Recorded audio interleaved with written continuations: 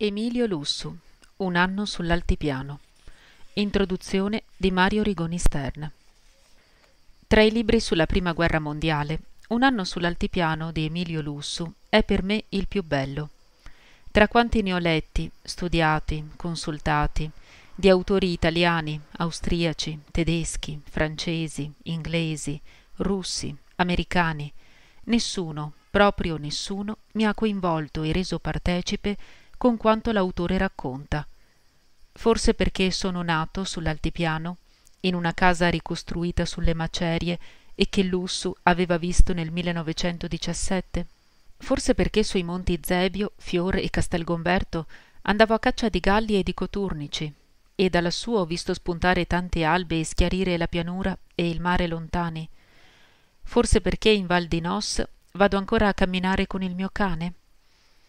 Era il 1953, quando lessi questo libro per la prima volta. Me l'aveva portato un cugino da Padova. La copertina era dimessa e la carta piuttosto grigia. Era stato stampato a Roma da Giulio Inaudi, quando qui eravamo occupati dai tedeschi. Scrissi. Mi buttai a leggerlo come si butta l'orso sul miele, trascurando persino i doveri dell'ospitalità.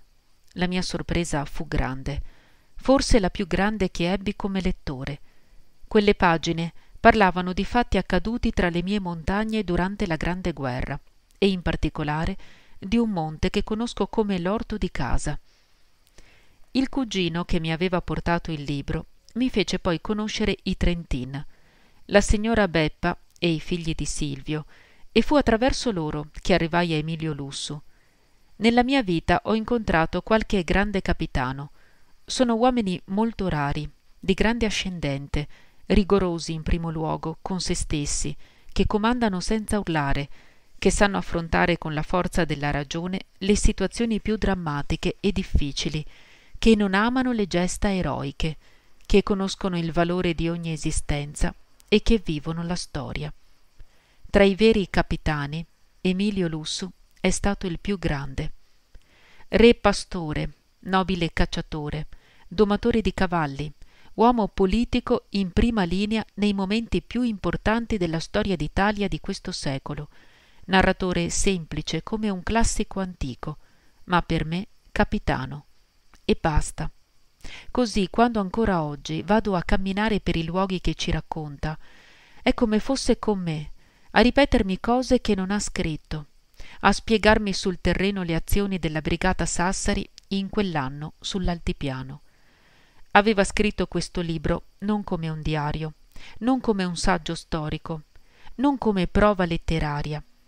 Ha solo segnato i fatti, ha solo segnato i fatti con parole, come raccontassi ai suoi parenti, agli ziu, suoi maestri di vita rusticana, uomini balentes.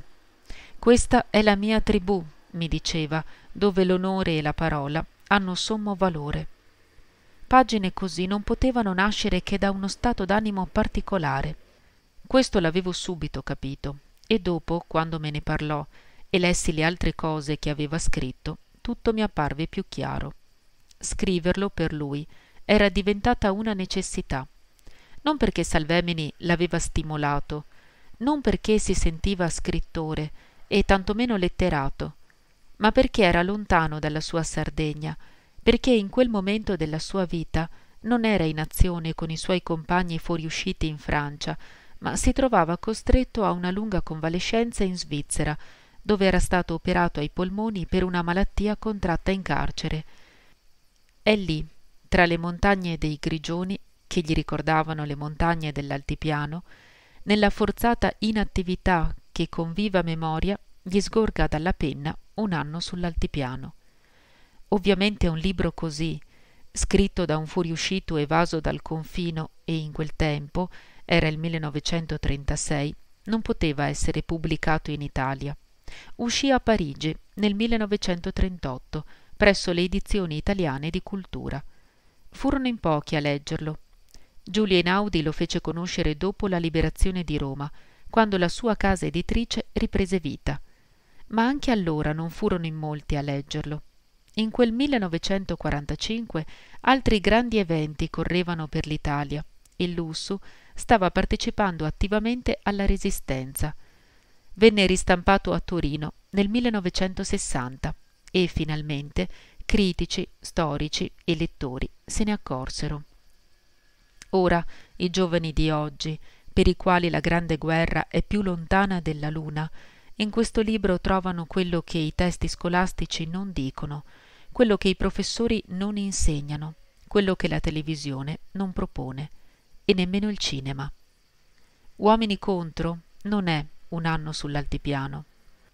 Un giorno, a Roma, dopo aver visto il film con lui e Rosi, mentre lo accompagnavo verso piazza Adriana, mi disse, come seguendo un suo pensiero, Tu lo sai, in guerra qualche volta abbiamo anche cantato. Ed è cantando quel mazzolin di fiori, mentre sale per la prima volta all'altipiano, in quel giugno del 1916, che la brigata Sassari incontra i profughi che hanno abbandonato le loro case alla furia della guerra. La nostra colonna cessò i canti e si fece silenziosa il resto è scritto nelle pagine che seguono e che resteranno per sempre nella storia della nostra Italia. Mario Rigoni Stern, febbraio 2000. Breve nota storica. Un anno sull'altipiano racconta gli avvenimenti nei quali, tra il giugno del 1916 e il luglio del 1917, venne coinvolta la brigata Sassari, 151 e 152 reggimento di fanteria, quasi tutta composta da soldati sardi. Lussu, all'inizio di queste vicende, era tenente aiutante maggiore in seconda del terzo battaglione del 151 a seguito della grande offensiva austro-ungarica, nota come spedizione punitiva, iniziata all'alba del 15 maggio e protrattasi per un mese, la Sassari venne rapidamente spostata sull'altipiano dei Sette Comuni e il 5 giugno sul Monte Fior si scontrò con i determinati bosno-erzegovesi, forza d'assalto della sesta divisione AU comandata dal principe di Schomburg-Ortenstein. E fu epica battaglia tra i bosniaci, che dall'alto del monte avevano intravisto la laguna e Venezia, e i sardi della Sassari e gli alpini dei battaglioni Morbegno, Valmaira, Argentera e Monviso. Gli assalti e i contrassalti durarono tre giorni.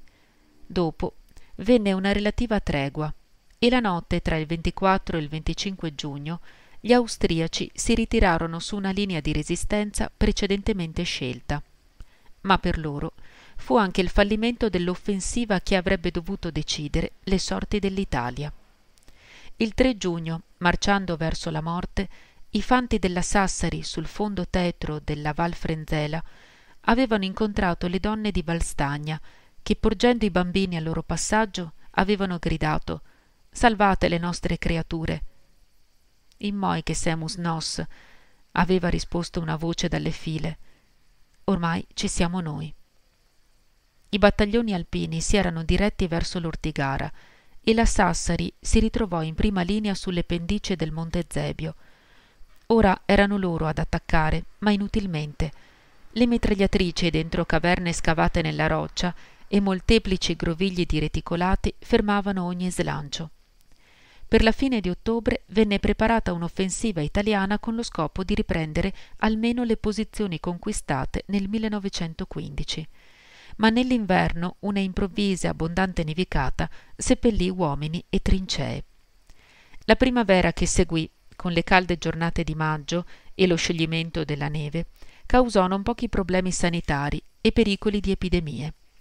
Il disgelo discoprì le scorie della guerra e i cadaveri di tanti soldati insepolti. Si lacerarono anche i sacchetti di terra posti a protezione delle trincee così come crollarono i ripari costruiti durante l'inverno con terra, sassi e neve. Il 10 giugno 1917 iniziò l'offensiva preparata dai comandi superiori. Fu quella battaglia che va sotto il nome di Ortigara a coinvolgere due corpi d'armata su un fronte di 14 chilometri. La Sassari ebbe il compito di attaccare i capisaldi munitissimi di difese e mitragliatrici del Monte Zebio I combattimenti furono asprissimi. I sardi sullo Zebio e gli alpini sull'Ortigara riuscirono persino a conquistare le trincee avversarie, difese da più ordini di reticolati. Poi calò il silenzio. Un brivido percorre le membra di chi, oggi, cammina su quelle pietre frante. Mario Rigoni Stern Prefazione Ho scritto un anno sull'altipiano, fra il 1936 e il 37, in un sanatorio di Clavadel, sopra Davos. Mi ero ritirato là in seguito all'aggravarsi della malattia polmonare contratta in carcere, non potuta curare al confino di Lipari e dopo l'evasione trascurata in Francia. Deciso a guarire, avevo subito un'operazione chirurgica piuttosto pesante e la cura mi imponeva un lungo periodo di immobilità. Ma anche così non avrei mai scritto il libro, senza le insistenze di Gaetano Salvemini. Fin dal 1921, in seguito alle rievocazioni che assieme facevamo della guerra, egli mi aveva chiesto di scrivere un libro. Il libro, diceva nelle sue lettere. Nell'esilio, il libro era diventato una specie di cambiale che io dovevo pagargli. Ad un certo momento, seguendo un filo che avevo nel pensiero da quando avevo letto Del principe di Niccolò Machiavelli di Federico Chabot, avevo avuto l'audacia di presumere di scrivere sul principe. Il giorno che ne parlai a Salvemini, la nostra amicizia rischiò seriamente di cadere in crisi. Era il libro che egli mi reclamava, non già divagazioni sul segretario fiorentino. In questo modo è venuto alla luce il libro sulla guerra. Spedì il manoscritto a Salvemini, che era a Londra, alla fine del maggio del 37, ed egli mi rispose con un telegramma di qualche centinaio di parole. Il mio amico era placato. La prima edizione italiana uscì a Parigi, Edizioni Italiane di Cultura, ai primi del 1938, la seconda in Italia e in Audi nel 1945, dopo la liberazione. Rileggendo questa testimonianza della guerra, che ho lasciato immutata nella sua prima stesura, il mio pensiero va a Salvemini ed è a lui che dedico questa edizione. Emilio Lussu, Roma, settembre 1960. Il lettore non troverà in questo libro né il romanzo né la storia. Sono ricordi personali, riordinati alla meglio e limitati ad un anno, fra i quattro di guerra ai quali ho preso parte io non ho raccontato che quello che ho visto e mi ha maggiormente colpito. Non alla fantasia ho fatto appello, ma alla mia memoria, e i miei compagni d'arme, anche attraverso qualche nome trasformato, riconosceranno facilmente uomini e fatti. Io mi sono spogliato anche della mia esperienza successiva e ho rievocato la guerra così come noi l'abbiamo realmente vissuta, con le idee e i sentimenti d'allora. Non si tratta quindi di un lavoro a tesi. Esso vuole essere solo una testimonianza italiana della Grande Guerra. Non esistono, in Italia, come in Francia, in Germania o in Inghilterra, libri sulla guerra, e anche questo non sarebbe stato mai scritto senza un periodo di riposo forzato. Clavadel Davos, aprile 1937